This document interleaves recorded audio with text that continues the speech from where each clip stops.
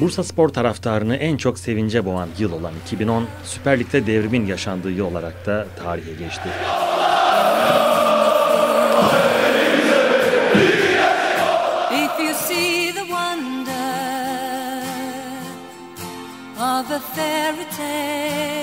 26 yıl sonra bir Anadolu takımının şampiyonluğu kazanması sadece Türkiye'de değil, dünyada yankılandı. even if you fail,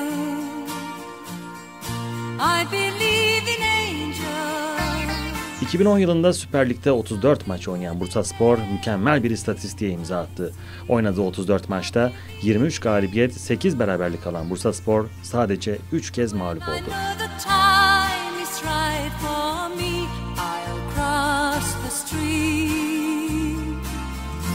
Peki Bursaspor 2010 yılında neler yaşadı? Geride neler kaldı? Dönüp baktığımızda hafızalardan silinmeyen olaylar neler?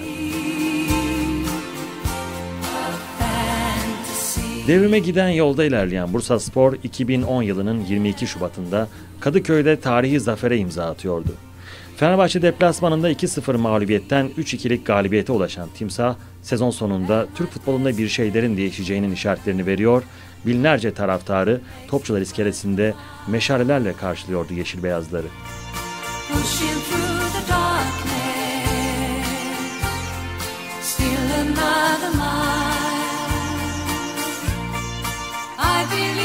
Timsah 6 Mart'ta Diyarbakır deplasmanında yine önemli bir sınavdan geçiyor, maç yarıda kalıyor, sonrasında yaşananlarsa tüyler ürpertiyordu.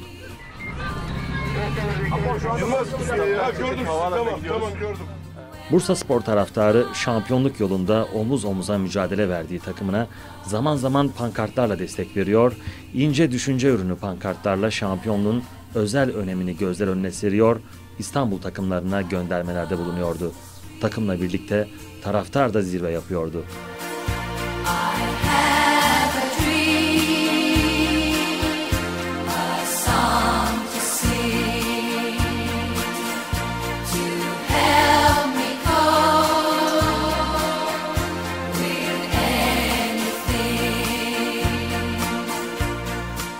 Ve o gün 16 Mayıs 2010 Bursa Spor Türk futbolunun makus talihini yıkan takım oluyordu.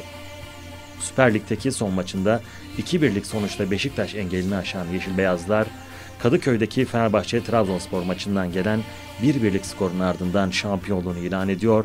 Şampiyonluğu sadece Bursa değil, neredeyse tüm Türkiye kutluyordu.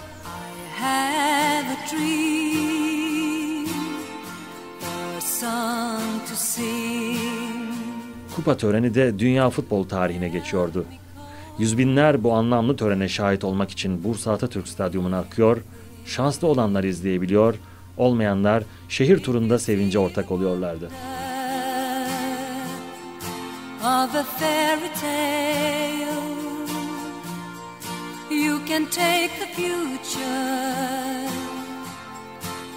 Şampiyon Bursaspor artık Şampiyonlar Ligi'nde mücadele verecekti.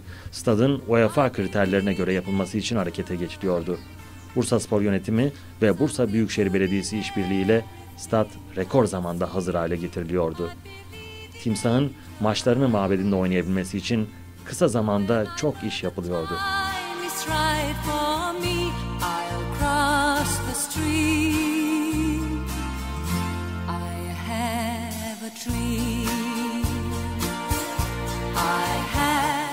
Tarihinde ilk kez Şampiyonlar Ligi gibi bir platformda mücadele ediyordu Bursaspor artık. Şanssız başlanan Devler Ligi puanla noktalanıyor. Bataja Valencia deplasmanında Bursaspor adına Şampiyonlar Ligi'nde ilk golü atan oyuncu unvanını alırken Sercan Yıldırım Rangers'ta Bursa'da oynanan maçta ilk puanı getiren golün sahibi oluyordu. makes it worth the while. Pushing through the darkness. Devler Ligi'ndeki ilk yılını bir puanla kapatan Yeşil Beyazlar, yoğun maç trafiğine rağmen Süper Lig'de şampiyonluğun geldiği sezondan 2 puan daha fazla topluyor. 2010-2011 sezonunun ilk yarısında puan rekorunu kırıyor, devreyi 37 puanla noktalıyordu. 2010 şüphesiz Bursaspor camiasının en mutlu olduğu yıl oluyor.